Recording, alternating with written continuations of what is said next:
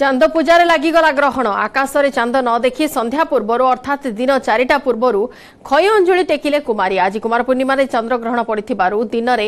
ଚାନ୍ଦ ପୂଜା କରିଛନ୍ତି କୁମାରୀମାନେ ସେପଟେ କୁମାର ପୂର୍ଣ୍ଣିମାରେ ପୁରୀ ଜିଲ୍ଲା ପିପିଲିରେ ନିଆରା କୁମାରୀ ବିବାହ ପାଳନ ହୋଇଛି ବୈଦିକ ରୀତିନୀତିରେ ଦୁଇ କନ୍ୟାଙ୍କର ବାହାଘର ହୋଇଛି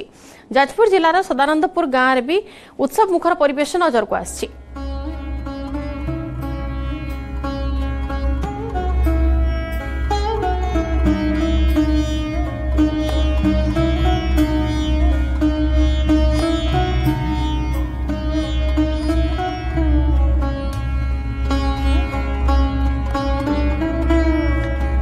আজ কুমার পূর্ণমীরে চন্দ্রগ্রহণ আজ অপরাহ চারিটার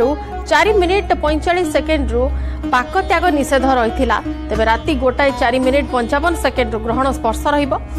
আতি দুইটা চবিশ মিনিট দুই সেকেন্ডে ছাড়ব এই সময় কৌশি দেবনীতি হব না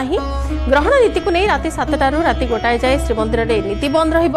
নীতি বন্ধ রুলে বি ভক্ত মানে রাতে তমাম মহাপ্রভু দর্শন করে পারে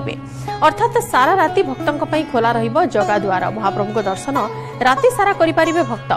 ସେପଟେ ଆସନ୍ତାକାଲିଠାରୁ କାର୍ତ୍ତିକ ମାସ ଆରମ୍ଭ ହେଉଛି ଏଣୁ ଗ୍ରହଣ ଛାଡ଼ିବା ପରେ ଲୋକେ ସ୍ନାନ ସାରି କାର୍ତ୍ତିକ ବ୍ରତ ମଧ୍ୟ ରଖିପାରିବେ